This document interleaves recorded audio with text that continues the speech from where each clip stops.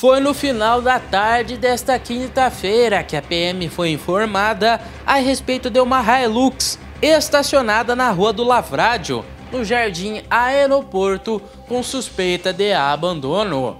A equipe constatou que a placa traseira havia sido removida, restando apenas a placa na parte da frente. Porém, a mesma não coincidia com o modelo de veículo. A partir da numeração do chassi, descobriram que a placa original seria AZJ 2193, ao qual havia sido recentemente tomada durante um assalto.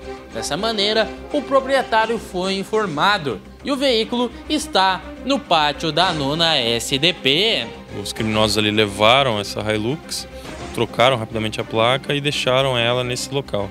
A gente acredita que seja para é, despistar, esperar esfriar, ver que ninguém foi atrás, para depois buscar e levar para algum destinatário, que alguém que vai recepcionar esse, esse produto furtado.